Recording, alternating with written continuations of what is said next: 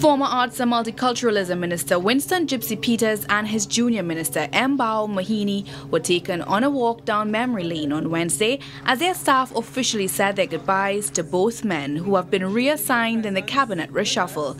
Minister Peters admits that bidding farewell is never an easy task, but urged staffers to extend the same respect they gave to him to the new Minister of Arts and Multiculturalism, Dr. Lincoln Douglas. We are not just working for the success of a ministry, we are working for the success of our country. Former Junior Minister Embau Moheni recalls his appointment to the Ministry of Arts and Multiculturalism was his first stint in politics. It was, according to him, a productive and enjoyable experience, but he admits there's much yet to be done. Whatever area there may be, we have a lot of work to do in this country. The road ahead is, is a long journey still.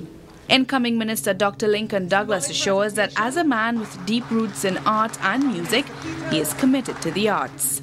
I do believe that the culture and the arts is the soul and the future of our people. Minister Peters has been reassigned as Minister of Community Development, while Moheni is now the junior minister in the newly created Ministry of National Diversity and Integration.